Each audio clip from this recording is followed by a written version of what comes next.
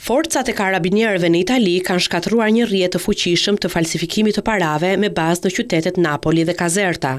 Sipas raportimeve në mediat lokale, në pranga kanë përfunduar pesëdhjetë e gjashtë persona të akuzuar për krijim organizate kriminale me qëllim falsifikimin e parave dhe futjen e tyre në tregje ndërkombëtare.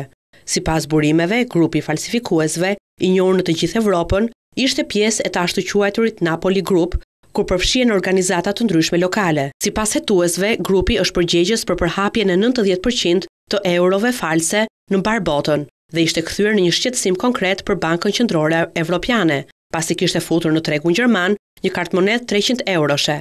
Sipas burimeve, Napoli Group përbëhej nga njëmbëdhjetë nëngrupe, secila prej tyre ishte e specializuar në detyra specifike, nga grumbullimi i parave, transporti dhe më pas futja e tyre në treg.